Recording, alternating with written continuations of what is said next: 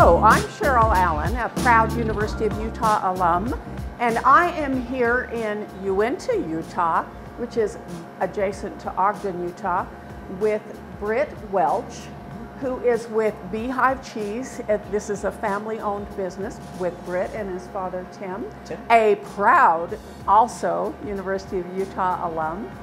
Tell us a little bit about the history of this wonderful little shop and your company uh, some of your products. Um, we are very anxious to know more. Yeah, thank you, Cheryl. So Beehive Cheese, we started back in 2005. My father had a history and a degree in finance, so he spent a lot of time as a project developer at a software company.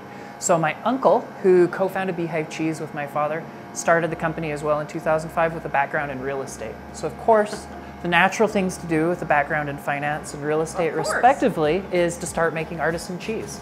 So again, 2005, they got this harebrained idea to quit their big kid jobs and start pursuing their passion, which was making artisan food. So here we are all these years later. Um, we're proud to be a second generation artisan creamery. We have a wonderful team of a little over 50 people, and it's incredible to see our cheese across the country and across the world. Well, we are in the midst of this wonderful little shop with, of course, the production facilities nearby. Tell us a little bit about some of your products that you have here and over there in the cooler. We're anxious to know more. Yeah, certainly. So the first thing that we realized early on is we knew very little about making artisan cheese. While finance, real estate, and my actually background in the life sciences, that is really useful for general kind of learning and problem solving the technical aspects of artisan cheese making. When we started Beehive Cheese, Tim and Pat had eight days between the two of them of artisan cheese making experience.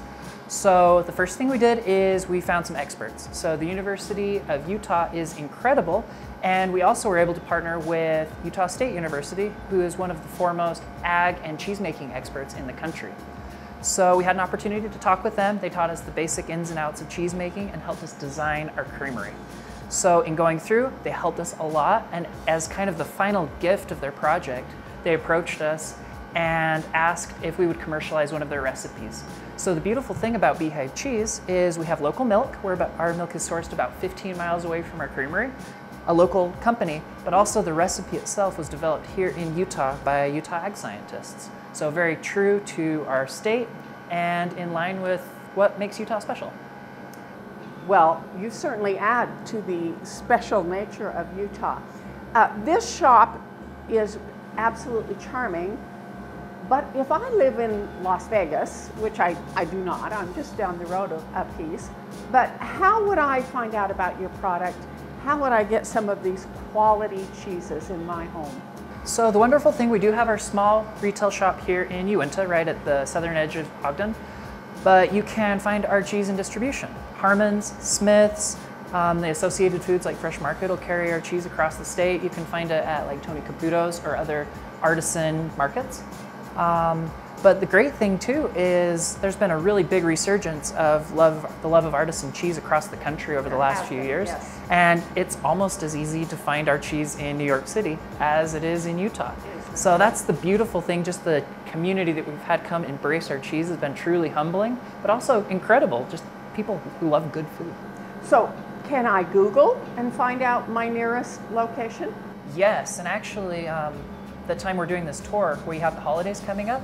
So we have a website, beehivecheese.com, and we can do gifts all across the country as well. So a lot of folks think of like candied popcorn or chocolate during the holidays, and I think people have a tendency of getting over sugar. So cheese makes a really nice complement to holiday gift giving. If I bought this large block, what is it refrigerated? Tell me how to store it. Yeah, so so cheese needs to be refrigerated, but the beautiful thing about it is we start with milk, which is very perishable. I mean, milk will only last a few weeks in your fridge before it's it's done. So the cheese making process, we're gonna go through and look through it today, but it's a process of acidification or introducing cheese cultures to ferment the milk and also dehydration. So we're gonna press it and extract some of the water out of it. And those two processes lead to a very shelf stable product. This does need to be refrigerated, but it'll last up to a year, two years even, that cheese just gets better and better as it ages. Did you hear that? It gets better and better as it ages, so it's one of those things you can buy in bulk and keep. Definitely. One thing I will say is fridges can be really hard on cheese once it's opened. So if you do get cheese and open it, you need to wrap it really carefully, keep oxygen off of it. If I want to experiment with cheeses, is there a good place to go to get information on uh, the tang or flavor of cheeses? Yeah, definitely. So what I would say, and this is very intimidating because typically we go to grocery stores and we have our list and we get our list and then we go home. Cheesemongers are the most amazing thing in the world. Cheesemongers. So the cheesemonger, that's the person that works behind the counter, behind that intimidating cheese island.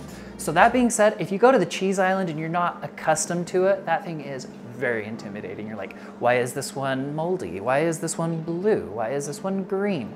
So that being said, cheesemongers are very friendly and they are professionally trained to teach people about cheese. So even just a simple question, Hi, I like cheese and crackers. Would you tell me a soft cheese? They can kind of initiate you and help you through some like entry level cheese. The beautiful thing about Beehive cheese is these um, Utah cheddars we're doing. They're very smooth and creamy, a very good introductory cheese as well. Not some of like the uh, more exotic cheeses that'll kind of kick you in the face when you eat them. Excellent suggestion. What is Britt Welsh's favorite cheese? Do you have one? So my favorite cheese depends on what's for dinner because you can kind of by having different things you eat it with. And that being said, some cheeses are sometimes amazing, like exceptional. But overall, I love like the sweet English style blues, like an English Stilton. Um, our own cheddar is really good, and I'm not just saying that, but um, across the board, it's incredible. And also like the soft ripened French style cheeses can be really good as well. Well, you've got us quite excited. Let's go in and look at some of your production facilities unless there's something else you'd like to share. Let, let's dive in. Thank you. All right.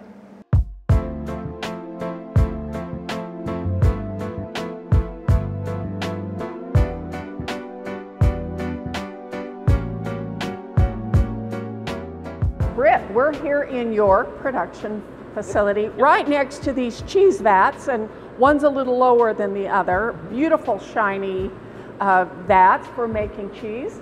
Tell us a little bit about your production process and what, as customers, you'd like us to know. Yeah, definitely. So the key to artisan cheese making is first you need to start with good milk. So first and foremost, we were very selective in choosing a dairy partner to work with. Uh, we've chosen to work with the Wade's Family Dairy. So they are a fourth generation family farm out in, in uh, Ogden, Utah. So we work with them and we will receive milk from them about six hours before we make cheese. So as we're making cheese, when we're done, the milk will have been out of the cow for about 12 hours when it's made into cheese. And again, that's key in preserving the freshness and the cleanness of the milk, which then corresponds to the cleanness in the final cheese. So we'll start, and as you can tell, we're all geared up. Um, food safety is very important to us, so we're always washing our hands, making sure the vats are really well cleaned. An- And sanitizing our feet, I might say. Exactly. Have a little alcohol spray that goes on the feet and keeps us all clean. Um, one key thing to understand too is milk is the perfect food. So it has everything in it that uh, mama cow needs, needs to raise her baby. All of the fat, protein, water, everything. That being said though, it's also the perfect environment for pathogens and bad microbes to grow in. So the first thing we'll do in the morning is we pasteurize our milk. This cooks the milk to 160 degrees for about 15 seconds and kills all the pathogenic bacteria in it. Since that happens, we're left with a blank slate. So what we add after that is a special cocktail of artisan cheese cultures.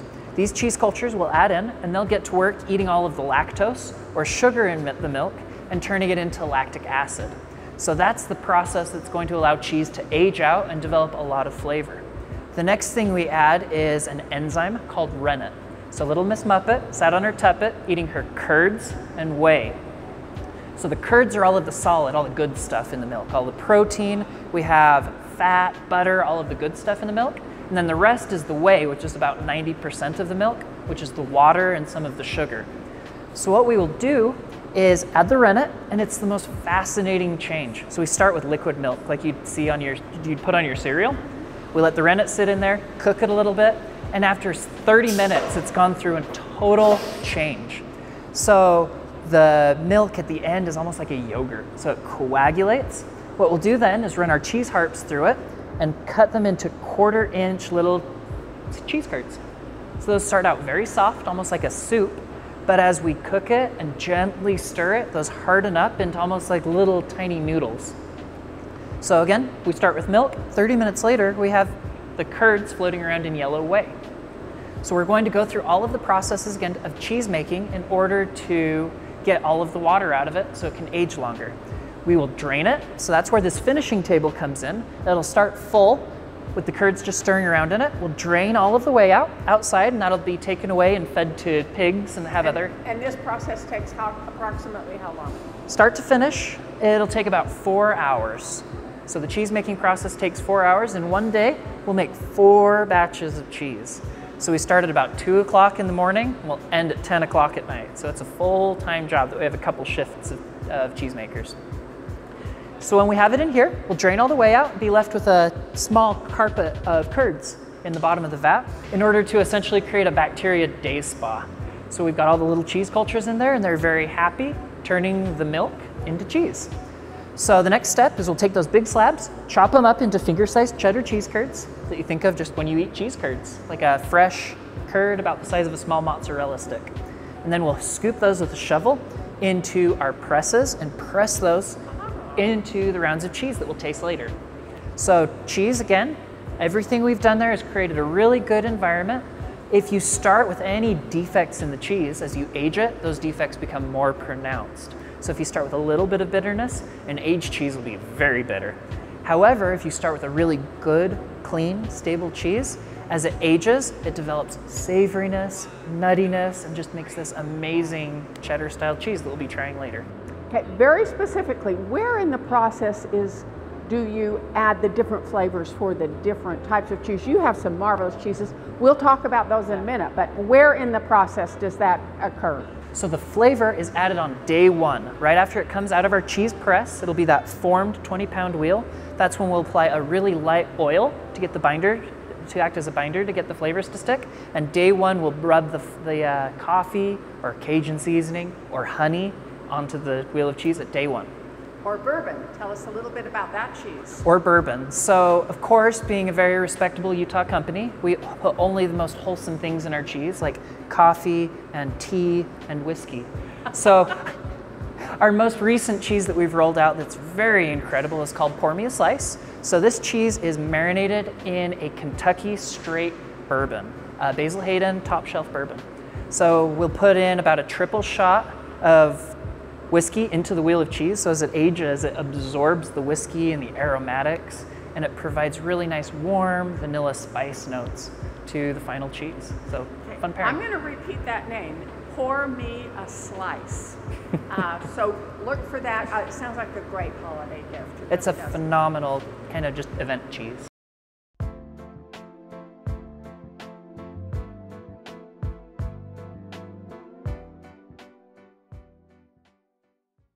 I am in cheese heaven, actually heaven, period. Tasting these cheeses, they're marvelous. But Britt, I wanted to ask you a question because we just visited the cheese aging room, which was chilled as and you mentioned there's two different temperatures. We came out, there was a very large truck getting loaded for holiday deliveries.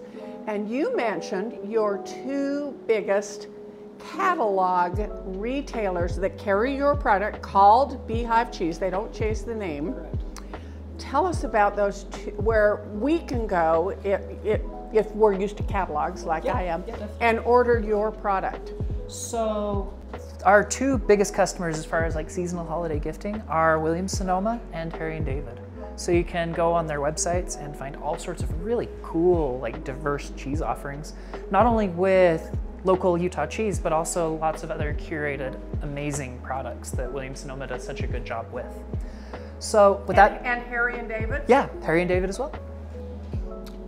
So I think that's very important for you to know if, if you don't live nearby, how easy ordering this product, and you do look for beehive cheese. And it's very prominent, and this is absolutely just delicious. Now, I also want to mention one other thing. This location for Utah's many skiers is at the mouth of uh, going up Weber Canyon to Snowbasin. And I asked uh, Britt if he got ski customers coming and going. And uh, tell, tell us what you said about that. So yeah, the funny thing, so we have a small, uh, as I mentioned earlier, we have a small retail shop here. Before, we were just making cheese here. One day we got on the local news. I think we were in the Standard Examiner in Ogden. And folks just started showing up to our office like, hey, we'd like to buy cheese. We saw you in the paper. So it's funny, now we have a small shop here and yeah, we get lots of skiers here, lots of folks picking up uh, cheese curds. So we have a little punch pass that every time you get a certain number of cheese curds, you get a free curd. Tell us a little bit about how you adjusted to COVID and the challenges that we had. Yeah, definitely. And I'm going to keep snacking. Indulge. So COVID-19 I think was really difficult for everybody. There were things that I think we had taken for granted, simple things like the ability to go out and be with other people, that all of a sudden at the beginning of the pandemic, there was a lot of uncertainty and a lot of nervousness, and we didn't know if the world was going to end. So that being said, as far as our business went, that April and March were dead for us. Normally we get a certain number of orders every month in order to keep our place running and all of our orders fell off. In fact, we had a lot of distributors that took large pallets of cheese on their trucks. The pallets made it to their warehouse and they called up and said, hey, we don't want this anymore, come take it back.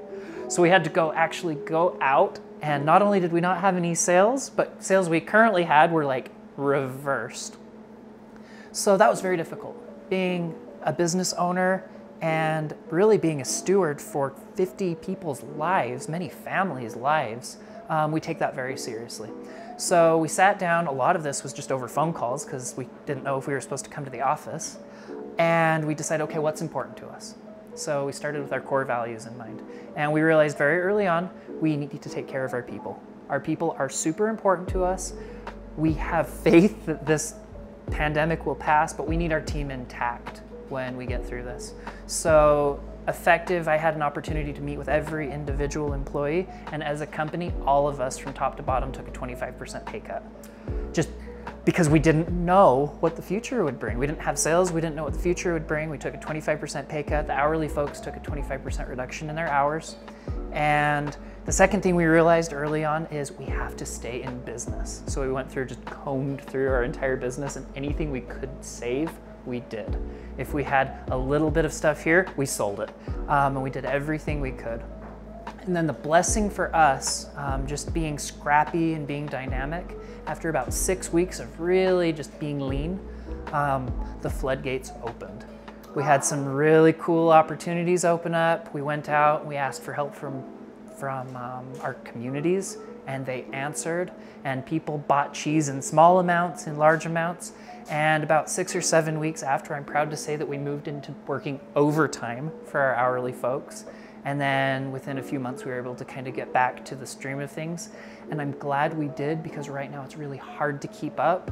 And if we would have lost any of our people, it, it wouldn't have been possible. So we have a really solid team here. COVID-19 was not easy, but hard work and teamwork, we were able to get through, which is well, cool. That's a tender story. What I can tell you today is this is a marvelous product. Um, how many different cheeses do you produce? Yeah, so we do really two different styles of cheese. We'll have our fresh cheese curds that you tried here that are aged really only about a week. And then we have our aged cheddar style cheese. So this cheese, however, we'll take and we'll rub the outside in the beautiful rinds that we talked about earlier but we have about a dozen flavors. Three or four of them are very commonly available in grocery stores. So with that being said, what I'd love to do is walk us through a quick vertical tasting, just kind of talking about how cheese develops flavor with time and kind of what's going on here. So this first one we're trying here is our cheese curd. So as cheese ages, it develops more flavor. So milk does not have a lot of flavor. It's lacking in savory, it's lacking in a lot of the aromas that make cheese distinct. That's because the, the, uh, the compounds in the milk, so those proteins, butter, all of that, hasn't broken down yet. So these cheese curds, well, you'll taste. Isn't that marvelous? You get a little bit of salt, sweetness from the milk, and then it squeaks. So do you know why it squeaks? No, I've always wondered that. Please tell. So there's protein in there excuse me, there's protein in there and all of the proteins are almost like little ukulele strings. So what's happening is as you're chewing into the cheese, you're snapping those little ukulele strings, which cause the little squeak, squeak, squeak, squeak. What's going to happen, however, is as the cheese ages, the enzymes and the bacteria, the cheese cultures in there, are going to break down those proteins and you get a much smoother texture as the proteins are broken down. So when you try it, instead of getting a squeaky kind of ukulele string structure of the protein, this cheese, all the proteins are nicely dissolved into a homogeneous paste.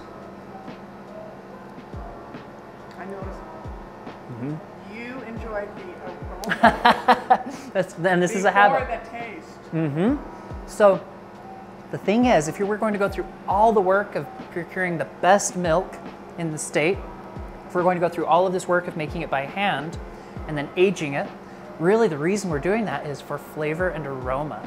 So if you've ever had a cold and you try to enjoy some soup or something, you don't taste it. That's because so much of the flavor and food experience is that aroma. So the beautiful thing is the cheese ages, it's chopping up those proteins into little bitty pieces that you can then smell. The longer it ages, the smaller the pieces get and the more aromas are released. So this is our promontory, our base cheese.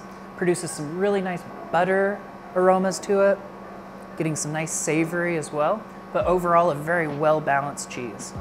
Also, one thing, so if anybody's a really nice like wine aficionado, if you were to get a really nice bottle of red wine and put it in the freezer for 20 minutes before you enjoy it, you'd take it out, it would be ice cold, and it wouldn't have any smell, it wouldn't have any aroma. It's because all the volatiles, all those aroma causing components, are stuck inside of the liquid. That being said, though, if you were to warm it up to room temperature, put it in your glass, and then swirl it around, that opens up the aroma. Same thing with cheese. So what you see, what you see with a lot of folks um, that are very experienced with cheese tasting is they'll actually take the cheese and play with it and play with their food a little bit. So the warmth of my hand, as well as the physical agitation of the cheese, it's a totally different experience afterward. And you'll look really funny at a party when you start handling the cheese, but then they'll try it and be like, oh yeah, it does taste better that way. Well, some So of us are used to looking funny at a party regardless. There, there you so- go. Just be the center of attention. So there's kind of a little nutshell cheese tasting. And then the one thing I would like to taste before we get to the end would be our Barely Buzzed, which has the coffee and lavender on the rind. So as the cheese ages, it infuses those aromas and flavors into the paste. So some folks ask, okay, can you eat the rind of cheeses? And there are definitely cheeses you do not want to eat the rind. Um, it could be wax, or it could be a really gnarly mold. But with Barely Buzzed, the rind on this is coffee. So that's probably the everybody's favorite part. So there's coffee in there, also a little bit of lavender. So the crazy thing about this one, I've done the farmers market for years. You'll talk with folks and they'll say, "Oh, that's interesting. What's in it?" Nobody can tell it has coffee. Everybody loves it and enjoys it. Honestly, I get more notes of like roast beef and just savory, big, bold flavor. But once you tell them the coffee, there's coffee and they're like, "Oh!" And it's just fun how the flavors really come together. Britt, is there anything else you'd like to tell our listeners today and our viewers? Yeah, definitely. So, the last 15 years have been kind of a wild ride for my family. It's really fun now. Um, I get the opportunity to come to work every day and work with a bunch of folks who I'm very close to, and many of them who I'm related to. But about three or four years ago, we were 10 years into Beehive Cheese, and we were at, sitting around the dinner table. It was a beautiful time of the year right now, autumn leaves outside, and we just began reminiscing. What, what's been our favorite thing about this crazy cheese journey? And without deviation, all of us came to the same conclusion that it's the people we've met. Cheesemakers, be it in Utah or across the country, are wonderful people. Other craft winemakers, chocolatiers, you have an opportunity to find people who truly love their craft. And it was that day around the dinner table that we came up with kind of our Beehive Cheese tagline and slogan of making friends with cheese. And it's just been so much fun sharing this cheese making experience with everybody and learning more and producing a fun thing we can share together. Making friends with cheese. That is a really great tagline. And that's what we've done today with a University of Utah business family, Beehive Cheese.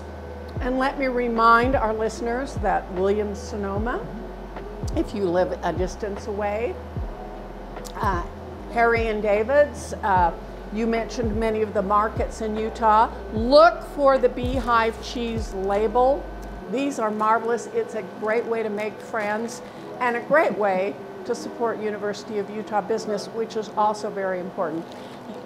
Marvelous company, marvelous product. Thank you for the time you send, spent with us. Beehive Cheese. Thanks so Go much, Cheryl. use.